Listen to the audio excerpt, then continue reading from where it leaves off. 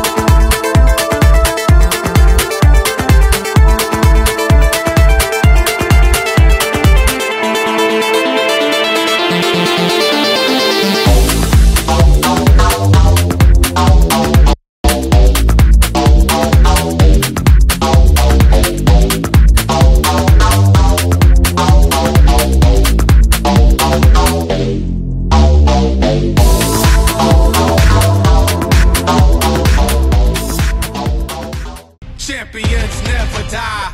Through it we survive and finally arrive. As the clock ticks, watch our elegant, stand strong, this is it. Are you built for this? Yeah. As the clock ticks, watch our elegant, stand strong.